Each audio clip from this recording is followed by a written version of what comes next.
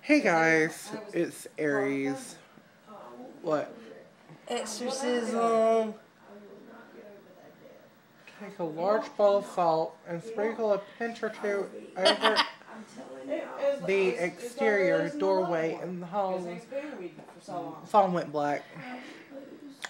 Typical. Anyway, I am with demon possessed woman. That's that exorcism stuff. I'm home. Anyway, um, we are just hanging out for the day. Maybe a few more minutes, and then she got to go to work. Shock, isn't it? Uh, I was just checking in to say that I am bored out of my mind, just like Erica is. Uh, did I explain why I call them my Rams to you? I think what? my Rams.